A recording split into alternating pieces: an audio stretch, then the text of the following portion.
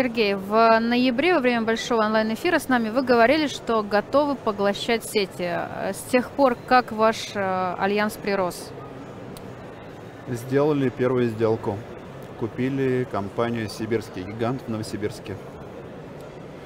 С э, первого квартала этого года мы ее начали переформатировать и сейчас открываем магазины в трех под тремя разными вывесками. Первая вывеска это хороший выбор, вторая вывеска это добро... э, первоцен, все, что касается дискаунтеров, и третья вывеска это спар. Угу. А с точки зрения расширения э, союза что-то случилось у вас? Ну вот под, э, если говорить про вступление в, в альянс, это даже не факт подписания договора концессии, это факт прохождения адаптации, в котором решаются вопросы управления товарными категориями, распределение федеральной и локальной квот, внедрение IT-инфраструктур, каких-то инфра э, инструментов. Это достаточно такое протяжительное время, от полугода. И с тех пор э, мы адаптировали две сети. Это сеть Айгуль э, из Якутии, которая оперирует в двух городах. Это Нерюнгри и Якутск. И вторая сеть, э, наверное, лидер, самый большой лидер и по проникновению, э, лидер это Камчатки, это сеть Шамса. Какие э, проблемы пришлось решать, учитывая, что ваш новый партнер с Камчатки? А все остальные все-таки там в Сибири находятся, в центральном. Но они для всех одинаковые, эти проблемы. Там сложнее или чуть легче. Наверное, такого вопроса не стоит. Просто если ты решаешь эту проблему, то независимости от плеча логистического ты ее решаешь. Там ввести в Тулу или ввести на Камчатку разницы нет, кроме того, что на Камчатку дольше. А и цена? можем, можем использовать другой транспорт. А цена, безусловно, ложится в стоимость этой логистики, но покупатели на Камчатке, безусловно, получая товар из Москвы, вне зависимости, через какой канал, они уже видят этот товар с учетом стоимости товара. Но зато на Камчатке э, есть старый такой советский, переоборудованный, уже модернизированный э, завод рыбных консервов. И люди из Камчатки имеют возможность покупать его значительно дешевле, чем люди из Москвы. Мгм. Поэтому, э, кроме того, что мы являемся такими интеграторами и даем условия и, и начинаем делать поставки на Камчатку, мы еще пытаемся завязывать отношения с местными производителями и для западной части страны э, получать данные товары. А если говорить про ну, проблемы, которые мы решаем, это без- безусловно это выстраивание логистического канала. А, Если, например, в Тулу это грузовики, машины с нашего РЦ, то до Камчатки с нашего РЦ до, а, до места загрузки вагонов или до места загрузки контейнеров, откуда они самолетом или вагоном уходят туда на восток. Это первая проблема, то, что мы решаем во время адаптации.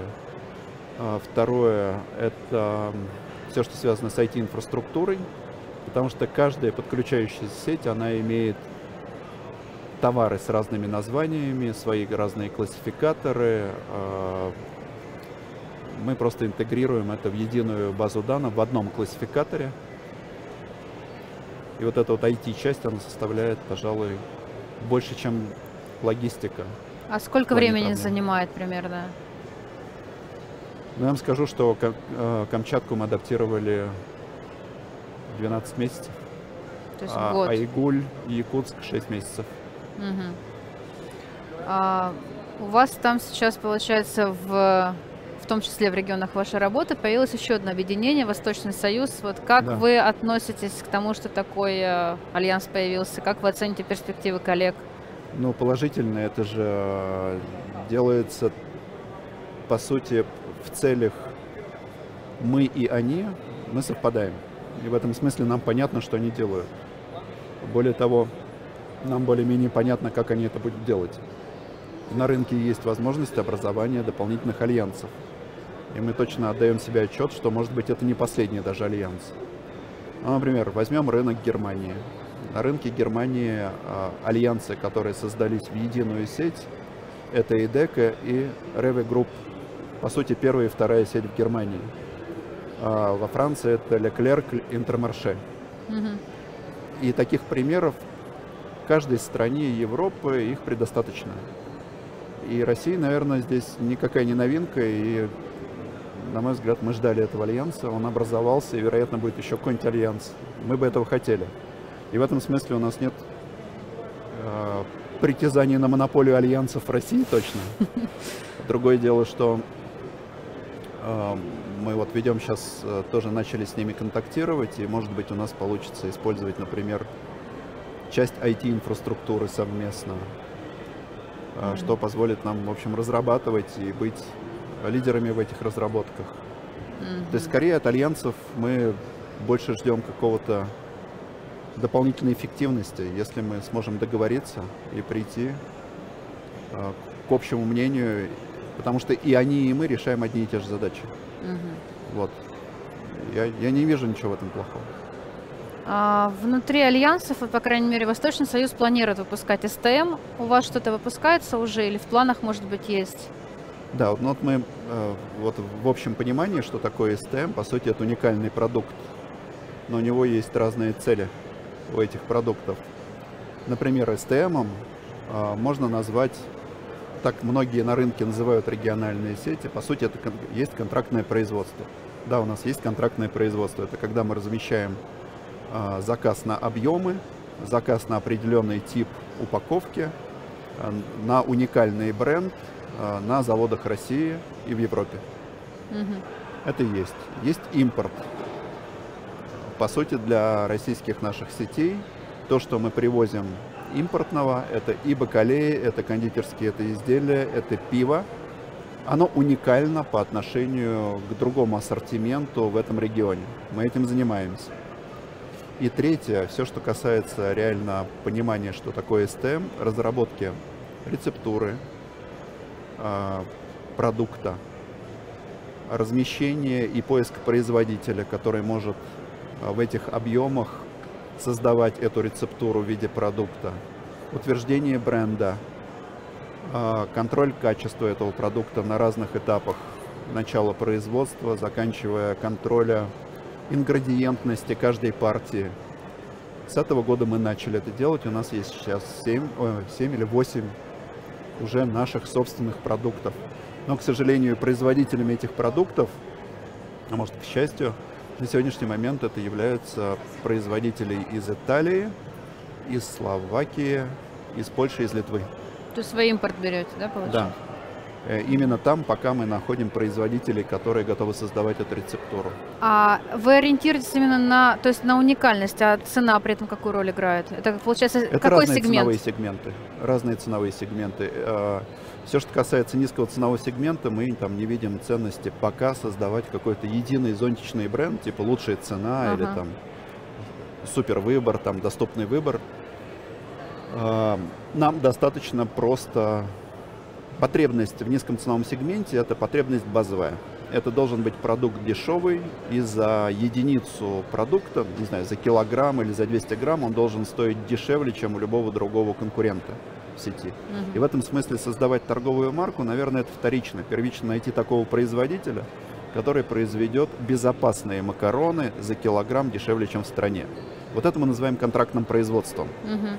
А вот что касается STM, где мы пытаемся позиционировать себя как контролера качества продукта, как создателя вкуса уникального данного продукта, в основном это средний ценовой сегмент. Мгм. А, в прошлый раз вы говорили, ну, по крайней мере, был момент в диалоге про м, закупочную цену вообще в целом. Как успехи на поле борьбы с крупными поставщиками? Ну вот 4 года, наверное, это шло примерно одинаково. Если говорить в цифрах, наверное, мы улучшали условия в среднем там, от 2 до 5 процентов на федеральные контракты ключевые. А, Потому что их доля достаточно большая.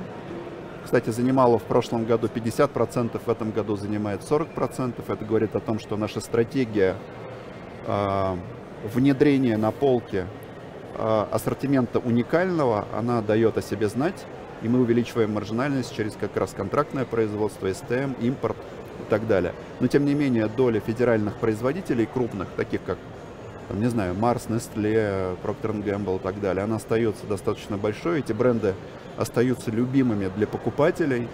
И э, там средние улучшения по отношению к предыдущему году в три года были там 2, 3, 4, 5 процентов. Сейчас в этом году мы начали централизованные поставки товаров, централизованную логистику. Это означает, что эти производители начинают возить не на э, РЦ каждой сети в отдельность, а на наш централизованный РЦ. У вас один пока? А, у нас Не один, один большой в Москве. Угу. А, это в районе Обухова на востоке Москвы. А, РЦ класса А от 8 тысяч палетных мест с разными режимами хранения. И второе мы откроем в Новосибирске. Сейчас мы купили много-много оборудования и вот пытаемся Мгм. собирать нормальные РЦ класса. Мгм. А, Эти РЦ сертифицируют крупные производители. Мы становимся единственными, а, даем единственную точку ввоза данного товара на это РЦ, и мы становимся а, единственными плательщиками для производителей. И вот это вот очень сильно меняет саму структуру изменения цен. По некоторым контрактам мы благодаря оптимизации затрат, которые раньше производители несли на дистрибуторов, на распределение каналов, на обеспечение контроля полки в каждой сети в отдельности. А Сейчас мы получаем улучшение, это первый год, когда они просто глобальные. Они, наверное, от 10% это минимум, а максимум около 30% по некоторым контрактам. И вот эта программа перевода на централизованные поставки крупных федеральных производителей в этом году стала масштабироваться, и до конца года это 40 производителей, а до конца следующего года чуть больше 100 производителей.